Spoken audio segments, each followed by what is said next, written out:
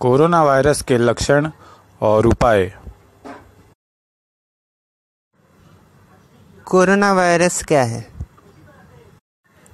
Corona virus virus का एक बड़ा परिवार है जो जानवरों या मनुष्यों में बीमारी का कारण हो सकता है।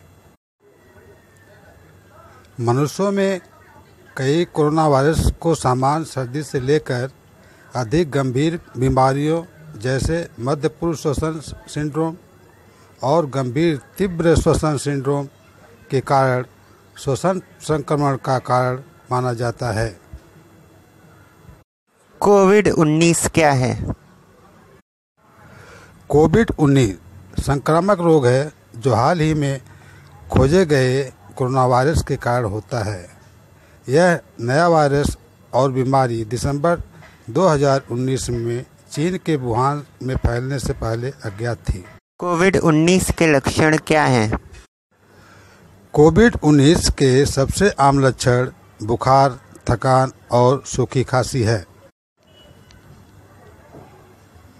कुछ रोगियों में दर्द बंद नाक नाक बहना गले में खराश या दस्त हो सकता है। यह लक्षण आमतौर पर हल्के होते हैं और धीरे धीरे शुरू होते हैं। कुछ लोग संक्रमित हो जाते हैं, लेकिन कोई लक्षण विकसित नहीं करते हैं और अस्वस्थ महसूस नहीं करते हैं। अधिकांश लोग विशेष उपचार की आवश्यकता के बिना बीमारी से उबर जाते हैं। कोविड 19 पाने वाले हर छह में से एक व्यक्ति गंभीर रूप से बीमार हो जाता है और सांस लेने में कठिनाई पैदा करता है। कोविड 19 कैसे फैलता है? यह बीमारी नाक या मुँह से छोटी बूंदों के माध्यम से एक व्यक्ति से दूसरे व्यक्ति में फैल सकती है। यह बूंदें व्यक्ति के आसपास की वस्तुओं और सतहों पर उतरती हैं। अन्य लोग तब इन वस्तुओं या सतहों को छूकर फिर अपनी आँखों, नाक या मुँह को छूकर कोविड 19 पकड़ सकते हैं। बीमार रहने वाले व्यक्ति से एक मीटर यानी तीन फीट से अधिक दूरी बनाए रखना अनिवार्य है। क्या कोविड 19 का कारण बनने वाला वायरस हवा के माध्यम से प्रसारित हो सकता है? कोविड 19 का कारण बनने वाला वायरस मुख्य रूप से हवा के बजाय श्वसन की बूंदों के संपर्क से फैलता है। क्या कोविड 19 ऐसे व्यक्ति से भी फैल सकता है जिसके कोई लक्षण नहीं है? जिस तरह से बीमारी फैलती है वह सांस लेने वाली बूंदों के माध्यम से होती है जो किसी को खांसी होती है।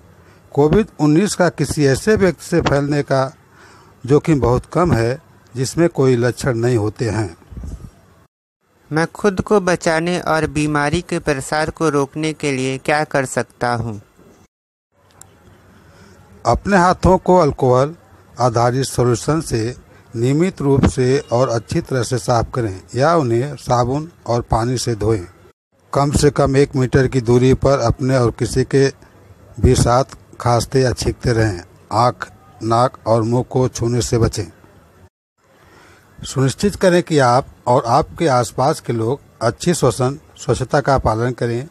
इसका मतलब है खांसी या छींक आने पर अपनी मुड़ी हुई कोहनी या उत्तक से अपने मुँह और नाक को ढकना, फिर इस्तेमाल किए गए उत्तक का तुरंत निपटान करें।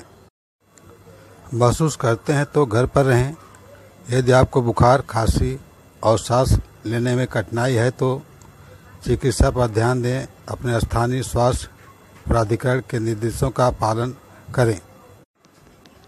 गंभीर बीमारी विकसित होने का खतरा किसे है?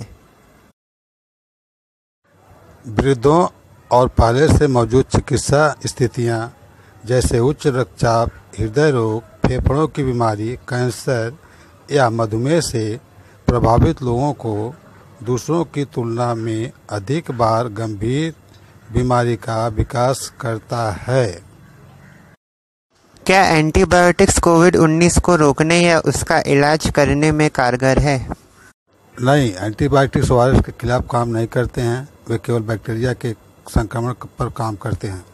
क्या कोविड 19 का कोई टीका दवा या उपचार है?